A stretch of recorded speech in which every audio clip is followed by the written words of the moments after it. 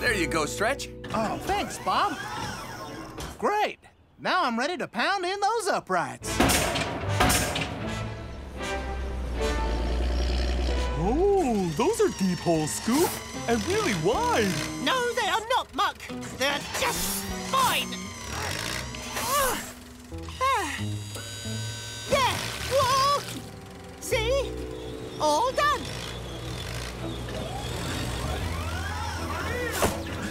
Let's see how these fit.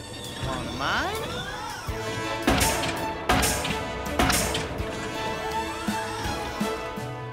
Yes, perfect. And one of Scoop's.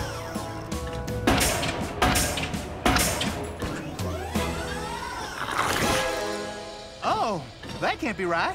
Maybe the pole's bent. Uh, try another one of mine, Stretch.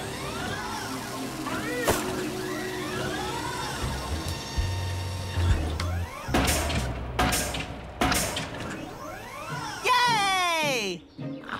Oh. Oh dear, that is not good. There, all done. Oh no, what's happening? Scoop, what's the problem?